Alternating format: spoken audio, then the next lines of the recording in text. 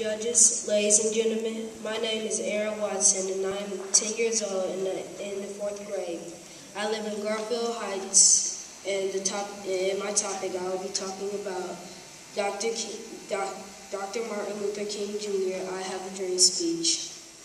In Dr. Martin Luther King Jr.'s I Have a Dream speech, he says that he has a dream that one day his four children will one day live in a nation where they will not be judged by the color of their skin, but by the content of their character.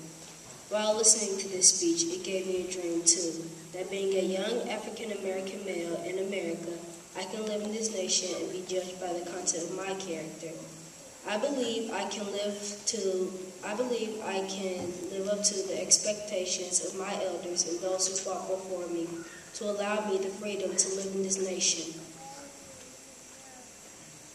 As a young African American male, it is often thought that we do not have dreams and we are not determined towards anything positive. But I learned that if I stay focused, that if I stay focused and work hard, I can achieve any goal. Dr. King fought in a nonviolent way for equal rights for me, and I don't take the sacrifice lightly. I understand people may not remember my name nor my face, but if I carry myself in a respectful manner, I will put myself in a position where I will be remembered through my behavior. I respect my elders and treat others the way I want to be treated.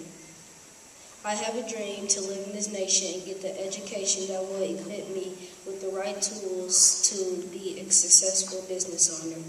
With hard work and success and, and setting achievable goals, I can become successful. My character at a young age allows people to see me as as a person who cares about other people. I understand that good grades now will lead to better opportunities later. I understand work I understand that honest hard work will lead to success and achieved goals. My opinion, the speech in my opinion, the speech meant that people should not be judged by the color of their skin, but work together to make the world a better place for all people. We should continue the legacy that Dr. King started by standing up for what is right and fair for all people at any time and in any situation.